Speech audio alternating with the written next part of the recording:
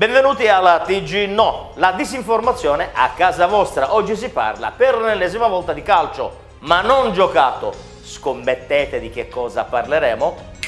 Indovinato, Bufera in casa Catania, a quanto pare la squadra etnea ha comprato 6 partite, 5 delle quali vinte ed una sola pareggiata è finita in pareggio, forse perché è stata pagata con un assegno postdatato. Pulvirenti e Cosentino agli arresti domiciliari. Giocheranno in casa per almeno i prossimi due mesi. Il sindaco Marino ha chiesto ai due dirigenti rossazzurri se potevano ricoprire il ruolo di assessore allo sport del comune di Roma Capitale. Sgomento in città. La squadra di calcio forse perderà la categoria e si dovrà ricominciare dai tornei schiette contro ammaredate. Nelle intercettazioni si faceva riferimento all'orario dei treni per identificare i calciatori da corrompere.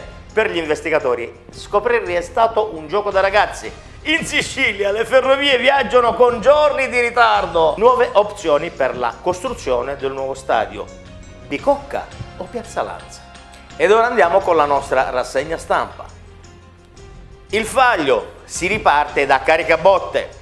La FIGC chiede per i siciliani una condanna esemplare per far dimenticare il Parma, la Lazio e i debiti spalmati della Roma. Non si esclude un torneo di fazzoletto o la partecipazione di diritto alle fasi finali degli europei di briscola in 5 League.